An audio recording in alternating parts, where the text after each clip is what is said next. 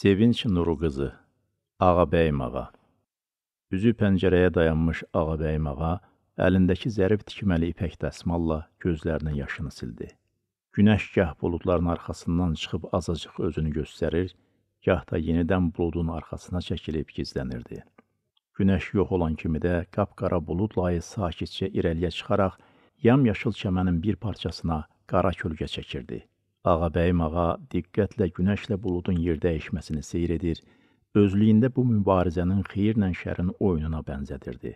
Pəncərənin önündəki ağaca qonmuş sərçələr də qara kölgə yaxınlaşanda məyus-məyus ətrafa boylanır, boz quyruqlarını ağacın tilişkəli gövdəsinə çırpıb darayırdılar.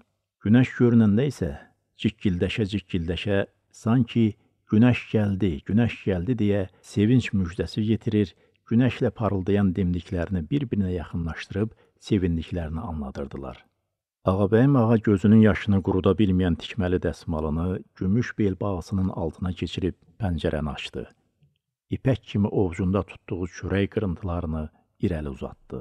Sərçələr uçub Ağabəyim ağanın ovcuna qondular. Xanımın kədərli üzünə ani bir sevinç gəldi. Dodaqları təbəssümlə işıqlandı. Bu vaxt Ağabəyim ağanın qapısını döydülər. İpək əlin içindən həvəslə çörək ovuntuları dənləyən sərçələr səksəndilər. Pırıldayıb bir göz qırpımında yoxa çıxdılar. Ağabəyim ağa sonuncu tikələrini yeyib uçan sərçələrin ürkəkliyinə güldü. Dəməşq xarasından tikilib, qızılı saplarla işlənib, güləbətillə bəzənmiş donunu xışıldada-xışıldada qayıdıb masanın arxasına keçdi.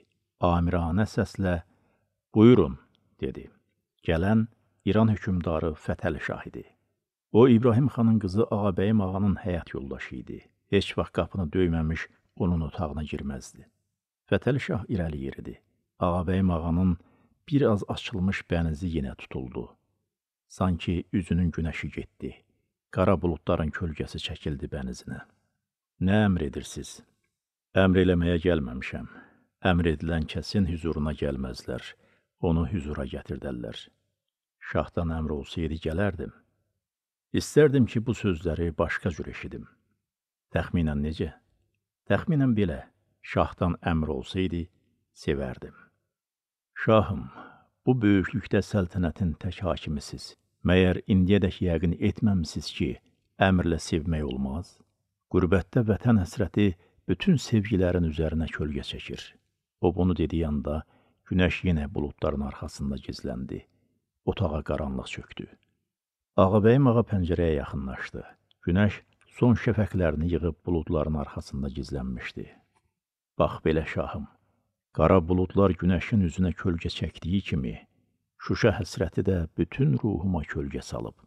Fətəli şah sanki ipucu verildi. Donmuş sifəti avazıdı. Qəzəblə yuxarı doğru dartılmış qaşları endi, gülümsündü. Şuşa həsrəti? Elə isə bu həsrətə bugün son qoyaq. Elə bu dəqiqə. Ağabəyim ağa sevinclə irəli atıldı. Dönürəmmi? Şuşaya, həsrətini çəkdiyim Şuşama dönürəm? Elə demək istədiniz? Düz başa düşdüm sizi?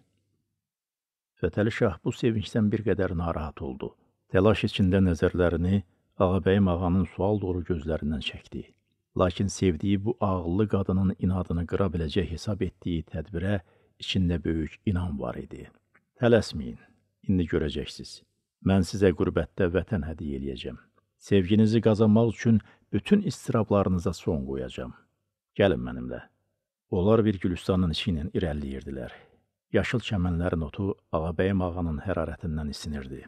Ondan sevgi və məhəbbət uman qızıl güllərin şehli ləçəkləri xəfif küləyin təmasından titrəyirdi.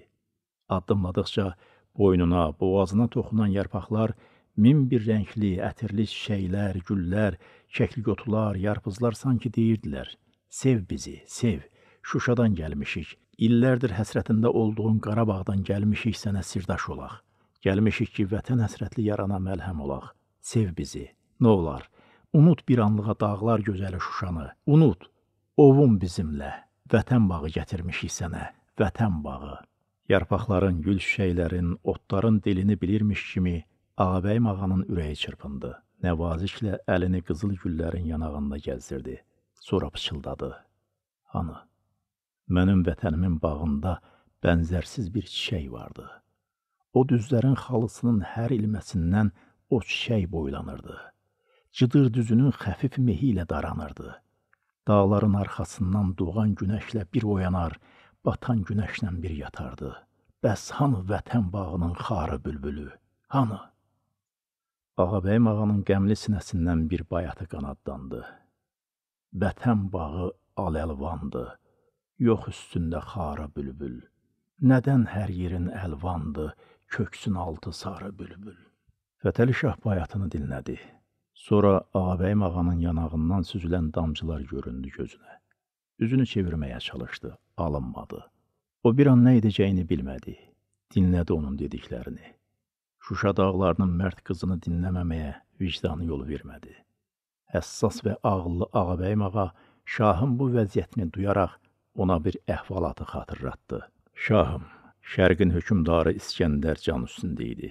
Sonuncu yürüş etdiyi günəşin yandırıcı istisindən boğulan, toz basmış şəhərin boz, acınacaqlı, sapsarı saralmış divarlarla dolu qoynunda ölmək, dünya gözəlliklərini qılınca təslim edən bir sərkərdə üçün ağla sığmaz idi.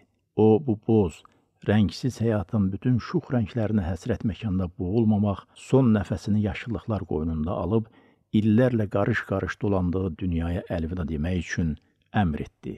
Məni asma bağlarına çatdırın. İllərlə salınmış asma bağlara. Babil şahının sevgilisi Midiya şahzadəsi üçün saldığı asma bağlara. O bu bağları dünyaya meydan oxuyan İskəndər üçün saldırmamışdı.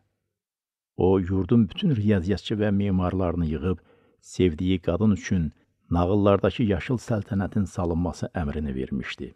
Babil sənətkarlarının saldırdığı dörd mərtəbəli asma bağları Fərat suları ilə suvarılmışdı. Navuxodonosor eşqini belə sübut eləmişdi. Bizim eradan əvvəl 331-ci ildə. Amma mən düşünməzdim ki, çox qüdrətli Fətəli Şah bütün bunları sevgi oyununda qalib çıxmaq üçün təkrar eləyəcək. Heç inanmazdım. Şuşanı bura gətirmək nə qədər müşküldürsə, Vətən həsrəti ilə yanan birisini vətənə qaytarmaq o qədər asandır. Ağabəyim ağa Babil şahı Navuxotnosorun saldırdığı asma bağlarından danışırdı. Fətəli şah susurdu. Şuşa bulaqlarının buz kimi suyundan içmiş. Şuşa xanı İbrahim xanın kişi kimi cəsarətli qızının qarşısında yeganə çıxış yolu elə susub dayanmaq idi. Hər kəsi diz çökdürməyə qadir əzəmətli şah zərif bir qadının qarşısında acizliklə susub dayanmışdı. İllər keçdi. Ağabəyim ağa Şuşaya həsrət qaldı. Ömrünü Fətəli Şahın Qum şəhərində onun üçün ucaltdığı sarayda başa vurdu və vətən həsrətini yanan qəlbində o dünyaya apardı.